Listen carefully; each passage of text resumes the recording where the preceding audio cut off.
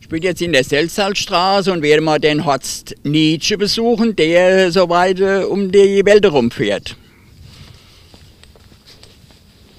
Mosche, Angelia, wo ist denn dein Göttergatte? Der ist schon wieder mit dem Motorrad unterwegs.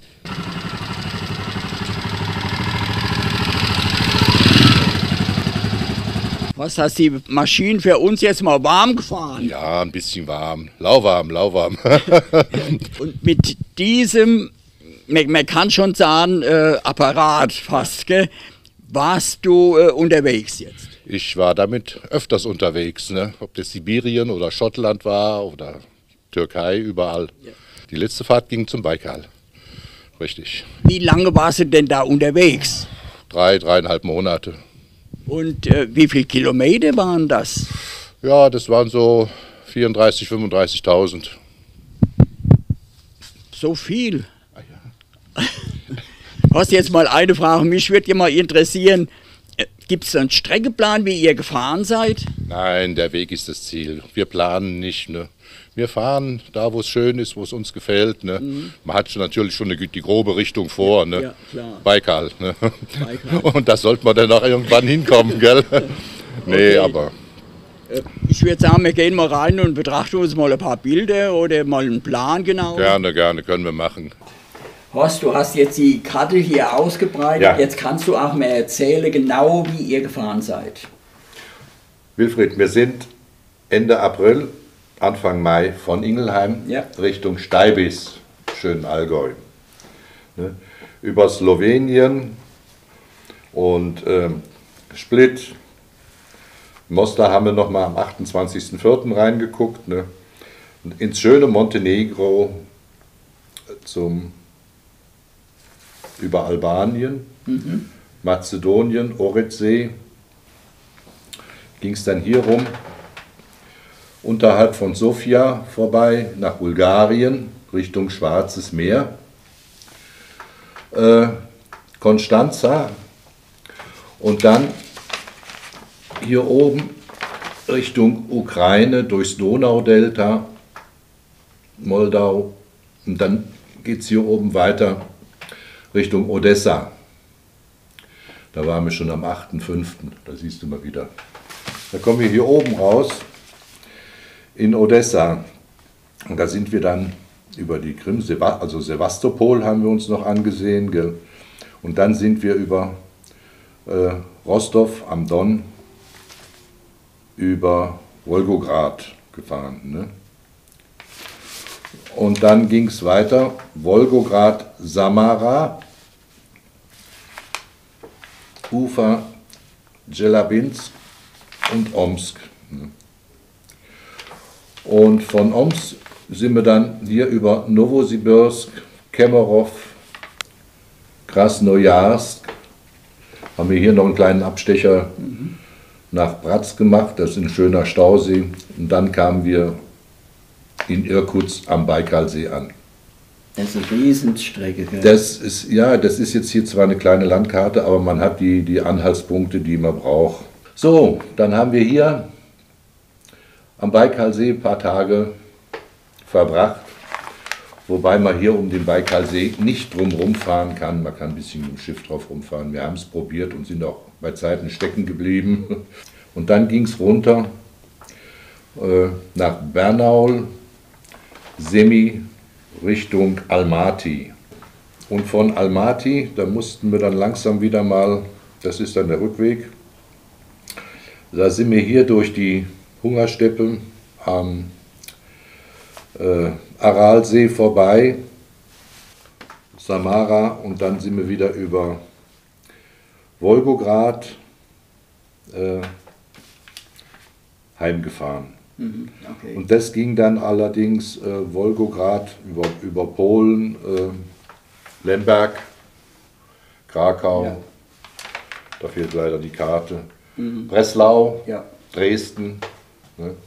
Und dann hatten wir schon wieder deutsche Schilder, da konnten wir uns wieder äh, ja, verständigen, wie es heimgeht. Ja, ja, so kommen auch die weil, viele Kilometer zusammen. Ja, ja. Ne?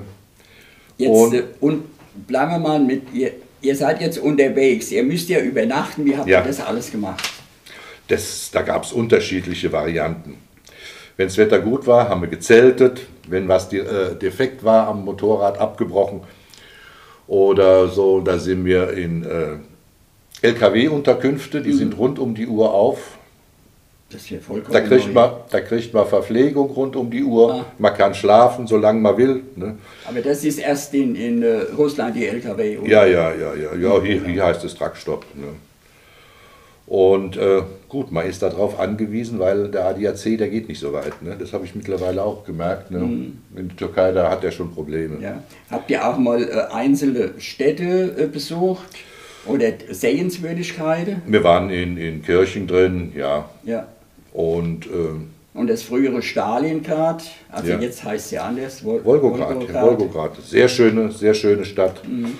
Und da waren wir auch in einem schönen Hotel untergebracht preiswert. Mhm. Und ähm, ja. Gibt es in Stalingrad noch was zu sehen, was auf den Zweiten Weltkrieg äh, hindeutet? Ja, da sind noch äh, große Wohnblöcke im Urzustand äh, mhm. äh, belassen worden, wie 1945 von ja. den deutschen Truppen ja, äh, da liegen gelassen worden. Ja. Und das sind so Denkmäler. Und ja, Kriegsfahrzeuge, Panzerflugzeuge, ja, alles ja. ist da aufgebaut. Ne? Das Ehrendenkmal da, äh, Mütterchen Russland. Ne? Ja, und die, die Strecke jetzt an sich äh, kann man hier nicht vergleichen, wenn man bei uns rumfährt. Sag mal, du bist jetzt schon im äh, Eck im Osten drin, wie sieht das aus? Ja, das ist, äh, das kann man schlecht beschreiben. Ich weiß hier, ich kenne hier wenige Feldwege, die man damit mhm. vergleichen kann. Ja. Äh, ja, ich denke mal so wie in den 50er Jahren, wo es bei uns noch keine Asphaltstraßen gab, ne, wie die Rotweinstraße noch ein Feldweg war. Ja, ne. ja. ja und äh, die, um die Großstädte, da ist natürlich, äh, sind Asphaltstraßen. Gell. Aber so im Landesinneren, wenn man von der Hauptroute abgeht, gell, da braucht man schon ein kräftiges Motorrad mit ja. dementsprechend Bereifung. Wenn es da anfängt zu regnen, nicht nur das Land ist groß, auch die dicken schwarzen Wolken, wenn es da mal runter macht, äh, entweder hast du eine Unterkunft oder du sackst ab. da brauchst du schon Traktorreifen.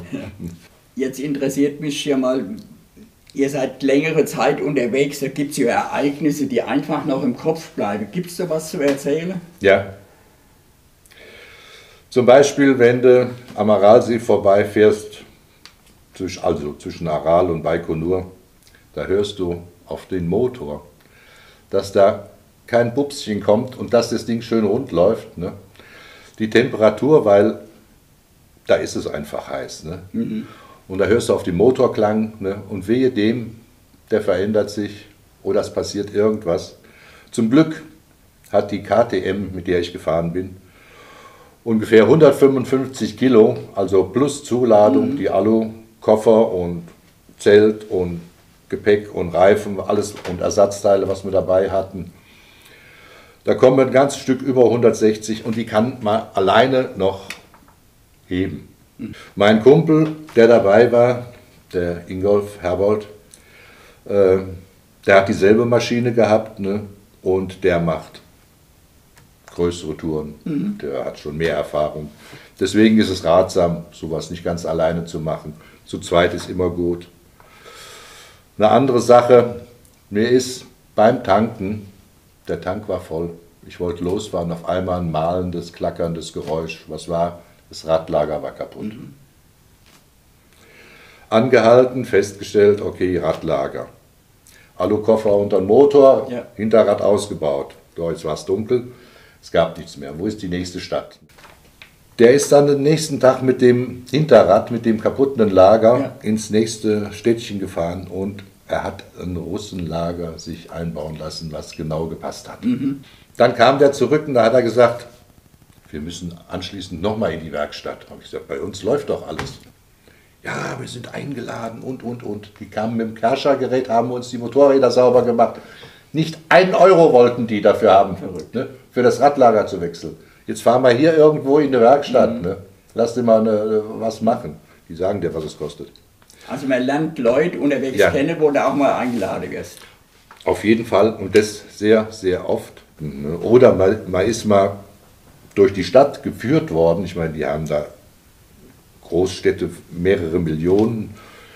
Äh, du bist zwar reingekommen, aber wo ist jetzt der richtige Ausgang? Ne? Das ist, wenn du in Frankfurt äh, reinfährst und du weißt nicht, wo du hinten rauskommst. Mhm. Ne? Äh, ja, da ist einer vorne weggefahren, hat uns den Weg gezeigt, ne, dass wir wieder auf der richtigen Straße weiterfahren können. Das war verrückt. Alles für nichts. Gell? Das war Gastfreundschaft. Ne?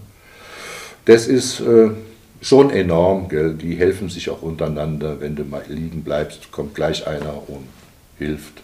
Dass ihr, wenn ihr jetzt unterwegs seid, seid ihr auch mal in der Wüste. Ja. Wie, wie ist das mit Tankstelle? Wie macht ihr das? Deswegen haben wir einen großen Tank drauf. Ne? Da gehen 26 Liter rein. Ne? Ja, gut. Und da kannst du schon mal von morgens bis abends fahren. Ne? Ja. Und ihr zeltet jetzt und wie macht ihr es mit dem Frühstück? Geht ihr da wohin oder habt ihr da schon eingekauft? Entweder, entweder äh, haben wir was dabei, ne? ein bisschen äh, ja. Hartwurst, Brot. Mhm. Ne? Also das ist nicht wie im Sechs-Sterne-Lokal da. Ne? Das ist halt dementsprechend. Ne?